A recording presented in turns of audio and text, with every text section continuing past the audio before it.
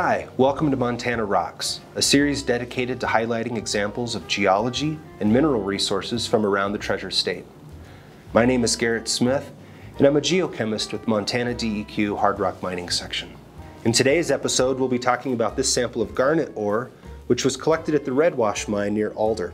This rock consists primarily of a shiny black mica called biotite with scattered purple and reddish pink garnets throughout. There are lesser amounts of quartz and feldspar.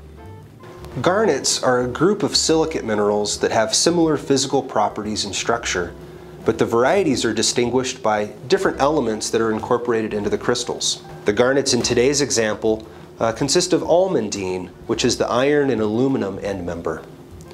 This rock type is formed through medium to high grade metamorphism, where the composition and structure of the rock itself is altered by heat and pressure.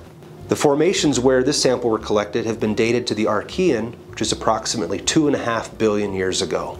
There are many locations in southwest Montana where very old garnet bearing rocks may be found. One particular area became known as the Ruby Valley, although the colorful stones along the stream beds were actually garnets. Gold mining began here in the 1860s, and by 1900, large dredge operations were removing the, the alluvial stream gravels to recover gold. A century later, some of those dredge waste piles were reprocessed to recover garnets that were left behind. The current mining operation is found up gradient from those stream deposits, and the garnets are recovered from the bedrock after crushing and separating the individual mineral components. These garnets typically don't have the clarity or the size to be marketed as gemstones, but they create an industrial garnet sand, which is used for many applications as abrasives or jet cutting. You may be able to find garnets like these in the sand and gravels near streams along the Ruby Valley. Well, that's all for today. Tune in again for next month's Featured Rock,